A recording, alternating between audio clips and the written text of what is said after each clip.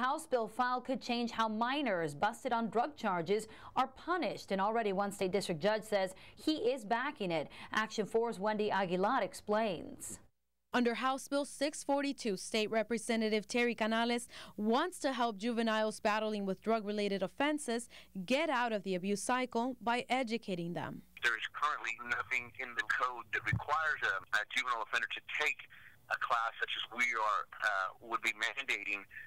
It, people are looking at it saying, you know what, why haven't we done this? Why haven't we been doing this already? The bill filed just last week would provide education and rehabilitation programs for minor offenses instead of having them serve time in a juvenile detention center. There's a lack of a follow through in the juvenile justice system when it comes to educating the offender uh, in, instead of um, rehabilitating, we're only punishing. Juvenile Judge Jesse Contreras agrees with this piece of the legislature. Already, Contreras has made changes to how his court handles teens arrested on drug related charges. We have life classes already established for first time offenders. He says since 2009, the repeat offenders have dropped from 39% to only 25% repeat offenders. The whole premise that we were established is to rehabilitate kids. We're not here to punish kids. Instead, they have counselors and probation officers who work closely with the teens and their families. He agrees this bill, if passed, would provide much needed support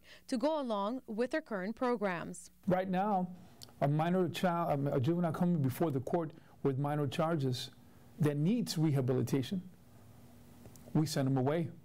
We send them away to outside the, the Hidalgo County. Why?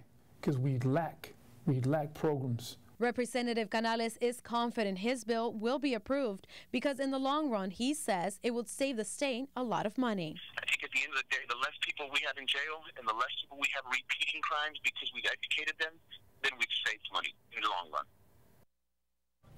And that was Wendy Aguilar reporting. It could take a few months before the bill is approved.